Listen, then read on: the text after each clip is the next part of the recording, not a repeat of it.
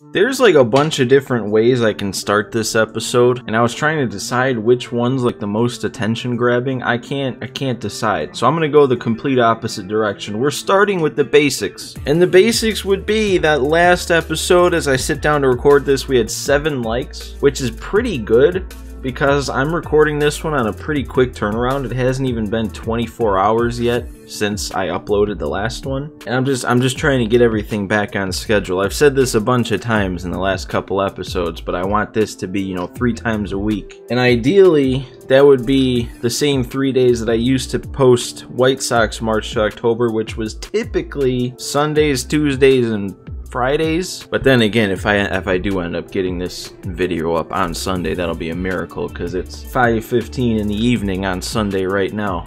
But anyway, I'm see I'm already going off on tangents. But we got the seven likes. So with our new like system of each like being worth 250 stubs, seven likes instead of just being worth 700 stubs like it used to be is now worth 1,750. So that alone is enough for an extra pack right there. So if you're watching this right now and you haven't hit that like button yet, man, do it. Likes are very valuable now in this series. So then continuing to knock off the basics, I put everything we pulled from the last pack opening on the market and the profit was, well not profit, I shouldn't say profit because profit would imply that we made stubs on the packs, which we didn't. But the revenue came out to be 6,068 stubs. Adding that into our stub bank gives us 8,800 148. So we uh, we definitely depleted that when we bought the Field of Dreams pack in the last one, but I'd say it's worth it to get another high overall. But speaking of that Field of Dreams pack, I guess this just leads in perfectly to another thing I gotta I gotta mention, and that potentially is why I'm kind of feeling a little frazzled before we've even started here, is because we're on a 14 game win streak, guys, and as we know in our stub stipulations or rewards, which I guess I should mention because I haven't mentioned in a while. All of those are listed in the description of each video if you're ever confused about something. But every fifth win as part of a win streak is like the wins times a thousand stubs. So if we're at 14, we're going for 15 wins in this episode. A win alone from the win streak would give us 15,000 stubs. So like that gives us a very good chance of making 30,000 stubs in this episode alone, and if we do that, we're picking up another Field of Dreams pack. So there's a lot at stake for this game. But another thing I have to get into before we start is I, I didn't make it easy on you guys. I, I was kind of confusing because I recorded that last episode before the last roster update, but in that episode I hadn't gone over the previous roster update yet and how it affected our team. So last episode when I talked about how our team was different, now it's different again. if that makes any sense. So with now the newest roster update, we did have a couple changes. Uh, I, I know Vlad got some differences. I don't think it changed his overall. Yuli went down one overall, but he still pretty much looks the same. And then Olson again, I think he got knocked down a bit to righties again, but he got upgraded against lefties. So it's almost preferable at this point, especially with his inside edge to go lefty-lefty with him. So yeah, actually, we definitely want to be facing lefties because he's our only lefty and he hits lefties better. And then on the pitching side of the ball, I think Brad Hand went down one. I think Karinchak went down two. I don't remember. I, I think Chad Green stayed the same, but Gallegos, he went from an 84 to an 83.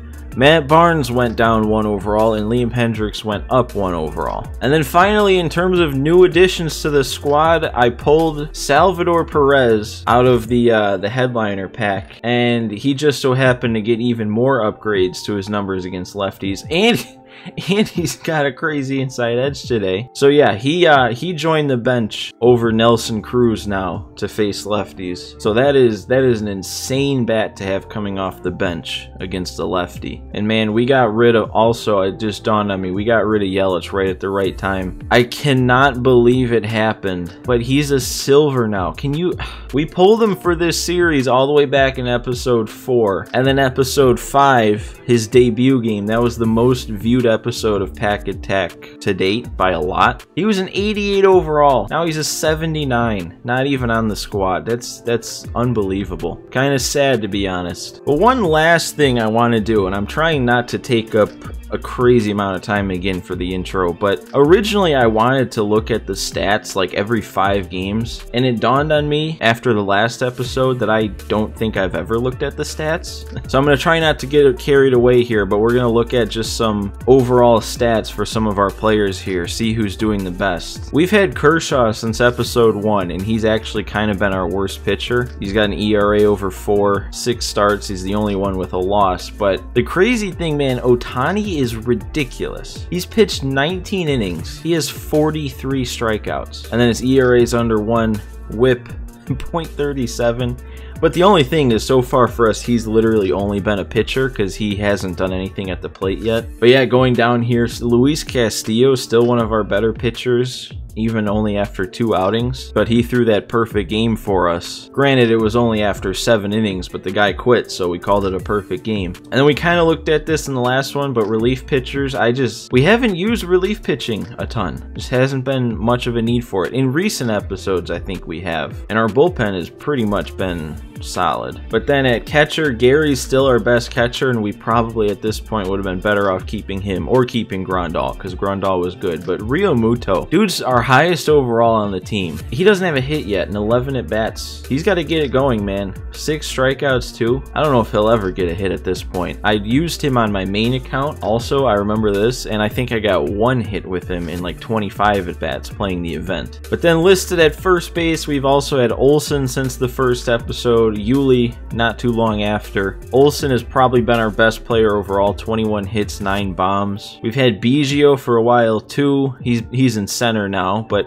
he's doing alright. If you look at the batting average, it's probably and on base especially it's probably not what you'd want a leadoff hitter to be. And then we actually we've only had one official third baseman Justin Turner and he was pretty solid for us when we used him. But then at short we've had Story for a while and he's been pretty solid. Five bombs batting 275 slugging 627 but then yeah man we had we had Marcus Semien way back when he was a silver. Wish I would have held on to him at this point. and then in left field Yordan you could also make the argument he's been our best player over Olson. He's got 23 hits, 9 homers, OPS of 1100. And then we had Yelich for a while. Amazing how quick he went downhill. And then Eloy, he's coming up. He's been playing, I can't believe he's already played 12 games with us. It doesn't feel like that much. But he's got 8 total hits, 5 of them for home runs. So even though he's only batting 229 with a 270 on base, his OPS is almost a 1,000. We've also never really had a, a center fielder, because remember there's that period of time where everyone in our outfield was a common, because we had Yelich in center. And then finally right field, haven't really had anybody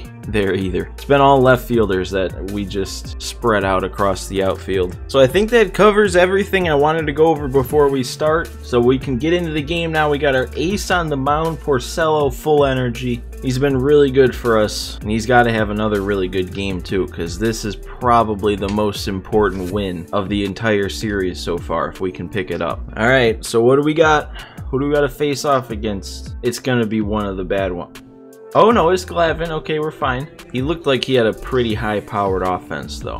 He's got about a 500 record. Okay. It, it, might this might not be a given. Might have to work for this one. I feel like I've gone both ways with Glavine. Sometimes I hit him really well. Sometimes I just can't figure him out. Here we go. Get him rolling over on the first pitch. Judging by his first two swings, he seems to be like gearing up for the harder stuff, which is good because Porcello doesn't throw hard. There we go. Yeah, way out in front of that. Nice play, Konerko. Good first two outs. He rolled over the slider. This is going to be okay. Yeah, good play. And we're good. No strikeouts, but no hard contact either. I want to jump out to an early lead, though. I'll feel so much better if I can do that. Did he get enough of that? I think that's making it to the gap. Oh, perfect. I'm going to keep him at second. Lead off double for Biggio. He's been leading off the game really nice. I don't know if he does much the rest of the game, but leading off, he seems to get it done. Oh, I almost just needed to wait back a little more. He went with the hard stuff and Vlad didn't hit it hard enough. No, I didn't. No part of my brain told me to swing at that. That was all my right hand. No, what? Oh no, I blew it. I blew the leadoff double. You can't do that. Didn't even move him over at any point. No. I love the weak contact if it's not finding a spot to land. That's just unearned. Very early. No part of him was on that. No, we can't have that. We can't have that. Oh. I don't even know. I don't even know what to say.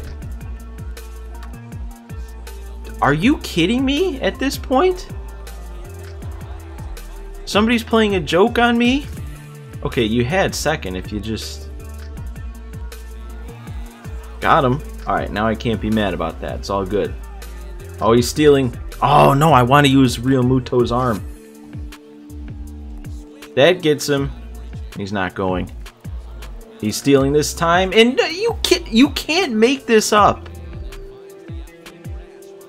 What is he doing?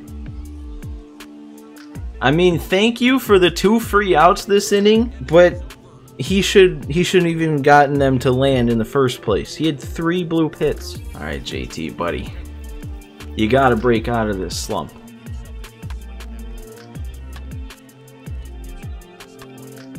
Dude, he can hit it hard foul, and then he just. Uh... Yuli, that one's blasted. Maybe we can get it done with a two-out double. If he was smart, he'd walk me. Guess he's not smart. Ah, well it doesn't matter how smart he is if I just suck. Alright. Much better inning there. Still weak contact, but it didn't have eyes this time. Oh, I was, I was so ready for that. Oh, you're gonna tell me that's just going straight foul, but all of his swings that he's gotten so far. Come on, carry for me. I missed it. Never mind. Yes, Vlad! Thank you! Still not even the best PCI, but if you're going to get around on it when it's up there, it's got to leave. That's his first with the team. I didn't realize that, but yeah. Oh, you don't want to do that. You don't want to walk somebody to bring up Eloy. Oh, I beat it into the ground. I can never judge the break on Glavine's circle change. Like, it either doesn't break as much as I think it will and I get under it, or it breaks too much and I get on top of it. I'm feeling way better, though. Way better now that it's tied. There we go, I like that better. Eliminate the possibility for a cheesy hit if we just strike him out. Never stood a chance on that slider. Are you kidding me? Oh, that was so good. Three, four, five, all down in order on strikeouts. Let's just keep doing that. Oh, no. Oh, I should have been all over that. Oh, and he did it again! Wait a second. That had to be... Yeah. Be. I was gonna say, there's no way that leaves. Oh, uh, JT! That's like... That's like on a T. Oh! Oh! He, he got one! He did it! Oh man, JT showed up finally in a big way too. Not just a bloop hit, he waited this long to take one deep. Go, get crafty a little bit. There we go. I think he was trying to be patient there until we got two strikes, but Porcello can dot, man. There we go. There we go. Just took a couple extra pitches, that's fine. Oh, and he couldn't hold up on the curve. That's six straight strikeouts now. Something's changed. He can't touch Porcello anymore. See what I mean with Biggio? He'll lead off the game with a with a hit, and he can't do anything else. Ah, oh, yep, doesn't look like he's taking him out. Yeah, too easy. Seven in a row. Ah. The streak ends. That's fine, a one out double. He'll run himself off the bases again. Can't hold up. Ah, I'll give him third. I was looking, I was looking to see if he would have taken off. I would have thrown it, but I already committed to first. If I tried to throw cancel, I just would have ended up getting nobody. Come on. Big play Biggio. Nice. Huge. He's starting this one off with a circle change. I can feel it. We gotta be all over it. Dude. No way. I called it perfectly. I was all over it. That between that swing and our two home runs, that was the best swing. I mean, not a not a great swing by any means, but still could have gotten something. Thank God he dove, because that would have been another line out. All right, let's see what we can do with the one out double now. All right. Oh. He's arrived. He's here. JT is here. Took him a couple games, but he has finally shown up to the field. Ooh. That's a good swing for that pitch. I didn't expect that. He hasn't seen a curve in a little while. Let's give it to him. There we go. We're counting outs now at this point. Six to go before we can lock this one up. There is a part of me that kind of wants to take Porcello out. Because I feel like it's usually this time of the game where he starts to lose it. But also with how much he's struggling, I kind of don't want to bring in anybody else. Craig! He showed up after the first. I was sitting on that pitch all the way and I actually got it. That makes me feel so much better about not taking Porcello out. Now we got a little bit more wiggle room, and Vlad with a perfect two. That's back-to-back -back perfect swings. Eric Gagne. All right, haven't seen him in a while. Oh, oh no, oh no. Uh, I saw that pitch from the beginning, and I, I just couldn't. I was too amped up. Oh, and that ends up in a, a grounder. Yeah. It, it, you're gonna have to trust me. that curveball didn't fool me. I just didn't have patience. Oh! What are you gonna do with that? Nothing. That's the answer. Oh, there we go. Hit number four. Bloop number four for him. That is literally a thousand stubs we've missed out on now because of bloop hits. No, don't do this to me. At least it's going foul, but Vlad? Nice. And he can't hit that one. Too far in the dirt. Porcello. Eight innings. We're giving him the final inning. Alright, he's got Kimbrel coming in. Hopefully we can give Porcello a couple more runs here. Just so we can feel even more comfortable. Ooh. Ah. Oh, no, no, no, no. What? JT? Again? Oh, I thought that was going to get caught. It's been worth the wait, man. Three for four finishes a triple shy of the cycle. And Yuli, for good measure, that was a no-doubter. Man, it was only a matter of time of him hanging curveballs that I would take one out. Should have happened earlier. Gotta make this play. He's got a little speed. Here we go. Oh, what did he see in that? I missed way worse than I meant to. And one more strikeout to end it. Our ace man, Porcello, comes through again. A one-run complete game shutout, and I think that's what they call a Maddux. Am I right? Complete game with uh, under 100 pitches thrown. But the crazy thing is, under 100 pitches thrown, but he struck him out 15 times. How do you rack up 15 strikeouts and still throw under 100 pitches? Man, and we got like our entire offense from those four players. Nine of our 10 hits. I gotta be honest, I think it's pretty safe to say we easily locked up 30,000 stubs there to get another Field of Dreams pack. With the 15 automatically, 15,000 stubs automatically for a 15 game winning streak, and with all those strikeouts, six runs, I think we got it. Oh man, guys, here we go. This was a game. Let's just start in on it, man. We had the seven likes first, right off the bat, which got us 1,750.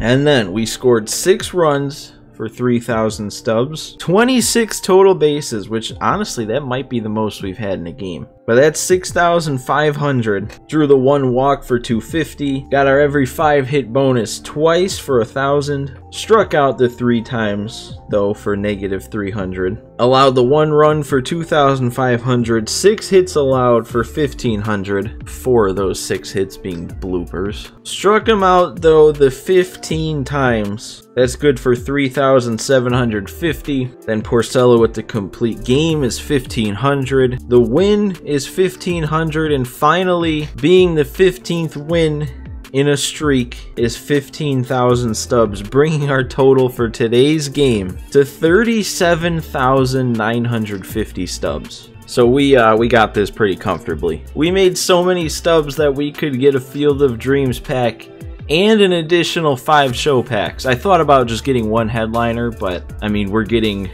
another really good player anyway, so I figured out we might as well get five show packs and try and build up the stub bank again. But that cost 37,500, which left over 450, which will be sent to the bank.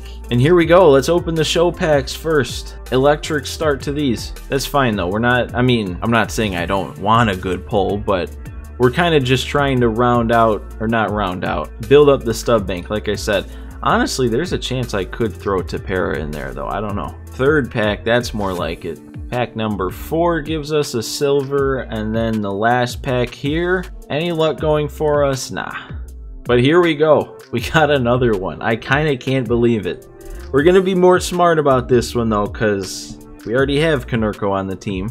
So I think still if I get the, the rare round, we're going to go Schmidt because he's going to be insane at shortstop and then we have an all diamond team. And I think if I get the base round, I think I got I think I got to go Betances. Even though we're still not using our bullpen that much, I think it might be more helpful to have someone like Betances, who I think a lot of people are going to have trouble hitting, versus Palmer, who, I mean, yeah, he's a 96 overall. He'd be our best starter by what, like five overall points? But I don't know, I feel like Palmer has never really been somebody who's been, you know, insane. Somebody that people can't hit. So I think we're going to go Dellin. I think we're going to beef up the bullpen a little bit if we get that base round. But there's still a chance we get the rare. Is luck on our side today? No. But I mean, still, we can't be upset if we're adding a 95 overall in the bullpen to this squad. So what an episode, man. For for some reason in my head, I feel underwhelmed just after all that adding somebody in the bullpen. I don't know if anybody else feels that, but I really do think Dellin is going to be really valuable.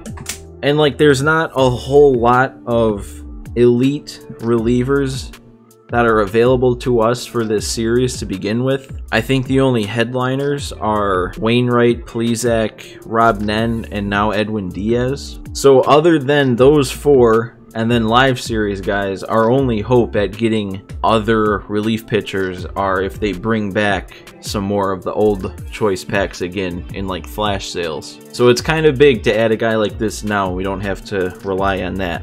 But yeah, guys, another fun one in the books. I hope you guys are enjoying this series still. I know we're what 25 episodes in now, but I'm I'm still enjoying it as much as the first one. And I'm still hoping we can ramp it up, give us a chance to play in the higher divisions by playing more games each season. I think that should make things a little bit more entertaining too. But for now, that's all I've got. Make sure you're liking this video to add 250 stubs to next episode stub count. Subscribe to the channel if you're not already. We got tons of fun content still coming out. Just because Madden's out doesn't mean this game's dead, man. But that's it for me. I hope you guys all enjoyed, and I'll see you next time.